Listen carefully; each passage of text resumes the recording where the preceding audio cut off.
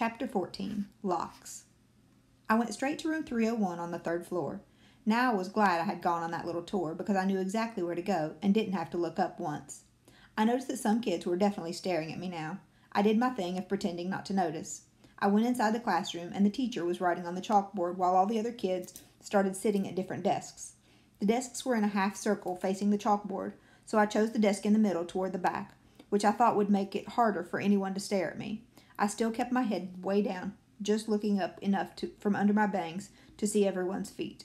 As the desk started to fill up, I did notice that no one sat down next to me. A couple of times, someone was about to sit next to me and then changed his or her mind at the last minute and sat somewhere else.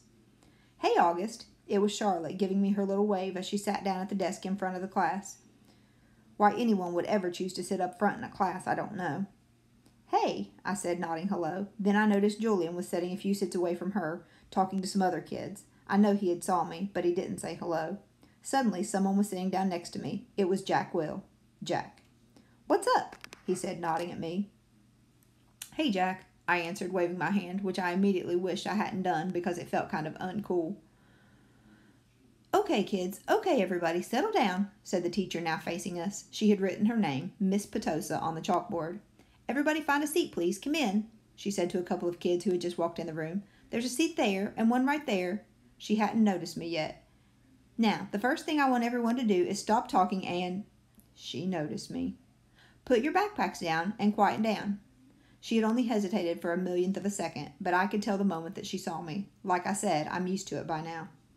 I'm going to take attendance and do the seating chart, she continued, sitting at the edge of her desk. Next to her were three, ro- three neat rows of accordion folders. When I call your name, come up and I'll hand you a folder with your name on it. It contains your class schedule and your combination lock, which you should now try to open until I tell you. You not try to open until I tell you. Your locker number is written on the class schedule.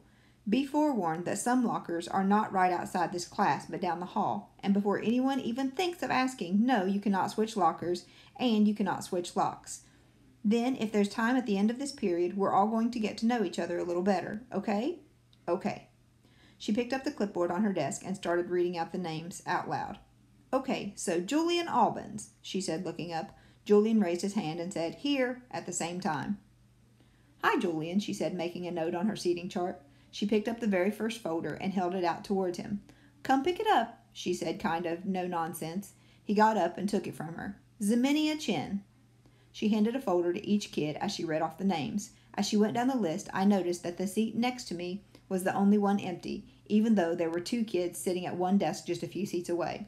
When she called the name of one of them, a big kid named Henry Joplin, who already looked like a teenager, said, she said, Henry, there's an empty seat right over there. Why don't you take that seat, okay? She handed him his folder and pointed to the desk right next to mine. Although I didn't look at him directly, I could tell Henry did not want to move next to me, just by the way he dragged his backpack on the floor as he came over, like he was moving in slow motion.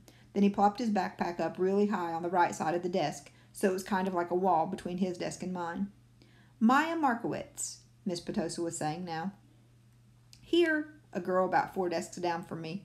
Miles Noury, here, said the kid that had been sitting with Henry Joplin as he walked back to his desk. I saw him shoot Henry a poor you look.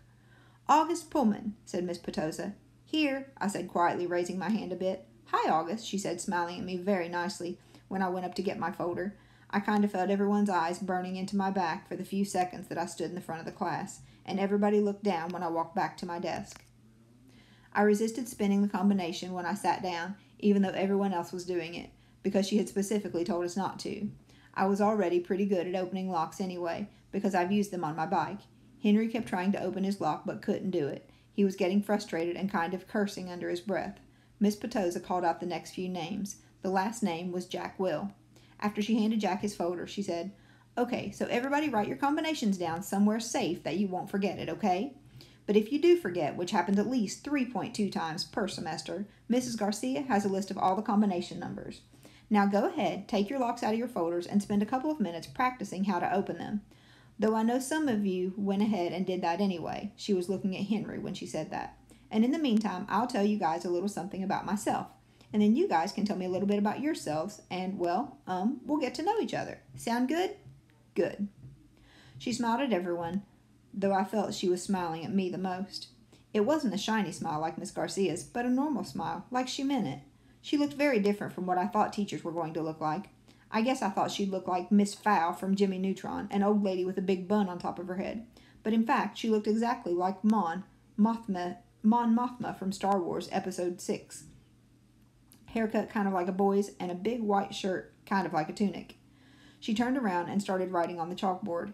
Henry still couldn't get his lock open, and he was getting more and more frustrated every time someone else popped one open. He got really annoyed when I was able to open mine on the first try. The funny thing is, if he hadn't put the backpack up between us, I most definitely would have offered to help him.